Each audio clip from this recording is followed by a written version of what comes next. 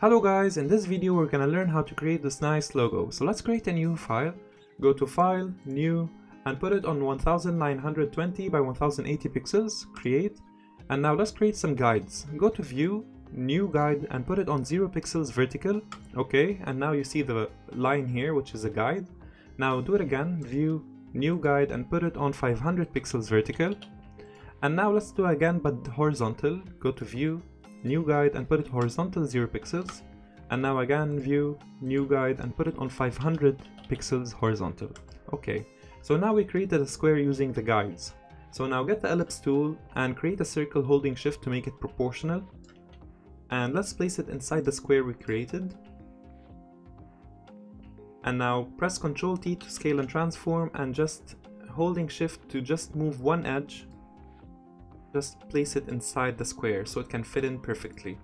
Okay, so now it fit in perfectly, so click on it and hold Alt. You see two cursors here, just move it like this and hold shift to make it parallel. And stop where the center of the circle here is on the line. So in the layers you would find there's ellipse 1 copy and ellipse 1. So ellipse 1 copy you can hold control and press on the box of it and it would get a selection. And now press on ellipse 1 and hold alt and press on the mask. And now when you remove ellipse 1 copy you would see this circle is masked. So now let's delete ellipse 1 copy and ellipse 1 let's right click on it and convert to smart object and now we can create the floral shape. Okay, now press on this moon looking shape and hold alt to get the two cursors and copy and drag holding shift to make it parallel and then Ctrl T to scale and transform and rotate it 90 degrees and then just stick them together. You would see they directly stick. So now do it again with the second moon, press on it and hold alt and drag and Ctrl T and rotate 90 degrees and stick them. And one more time with the last one, hold alt, drag, Ctrl T to scale and transform and 90 degrees and stick them. And now we have this shape here. So let's clear the guides, go to view, clear guides, and let's move it to the middle so we can start working on it and go to layers and choose the first ellipse one here, right click, blending options, and give it a gradient overlay.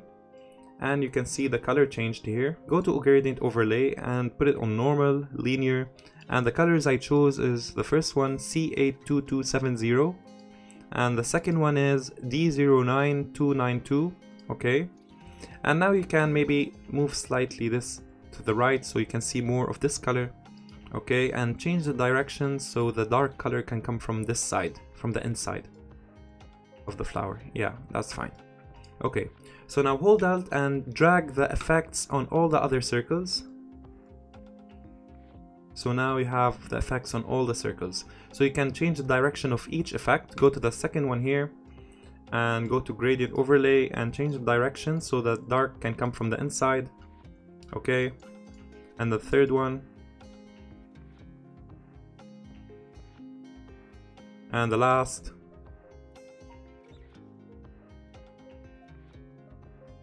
And this is fine. Press OK and now let's add some shadows. Add a new layer and let's name it shadows and then hold control and press on the box of the first circle here to get a selection and then get the paintbrush put it on black and put the size on 200 and the hardness on 0% and the opacity on 24% and make sure you're on the shadows layer I'm gonna click once here with 24% opacity and click again to make it darker on the edges and now let's do the same thing for the others Go to layers, hold control and press on the second box here, get a selection and do the same thing.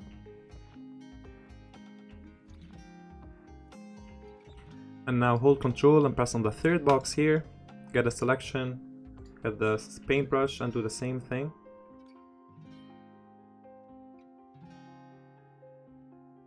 And the last one,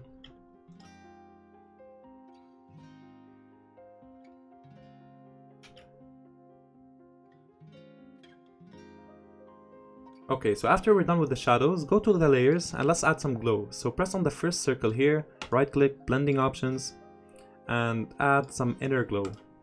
Put it on screen, 75 opacity, and put this color FB96B7, okay? And put it on edge, softer, and the rest. And press OK, and you would have this glow.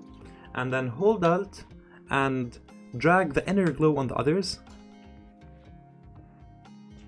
while holding alt and you would have this effect. Okay, so now go to layers and merge all of the layers.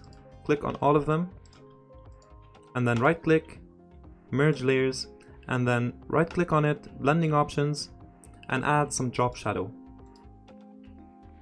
And on the drop shadow, put the opacity a bit lower and the direction maybe you can put it on this side and I put the distance on 21, the size 16, the spread 0, and the rest. So I'm gonna press OK. And now I'm gonna add the text, add a new layer, and get the text tool, and I'm gonna write Flora. And then Control T to scale and transform, and holding Alt make it smaller.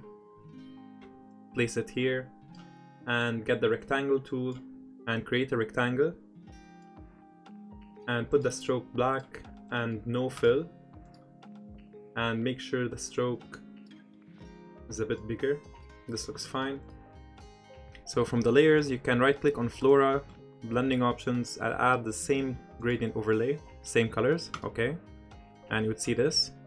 And then with the rectangle, right click, blending options, and same gradient overlay, okay? And we're done.